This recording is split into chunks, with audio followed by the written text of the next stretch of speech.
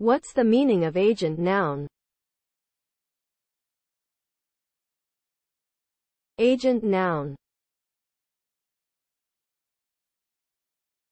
Agent noun. Agent noun. Agent noun. Agent noun. An agent noun is a type of noun that refers to a person or thing that performs an action. It is derived from a verb and usually ends in er, or, or. For example, teacher comes from the verb teach.